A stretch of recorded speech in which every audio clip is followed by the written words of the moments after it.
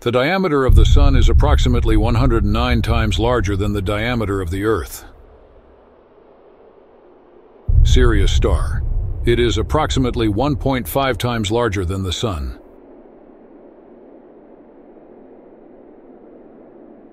Vega Star. It is approximately 2.0 times larger than the Sun. Pollux Star. It is approximately 9.0 times larger than the Sun.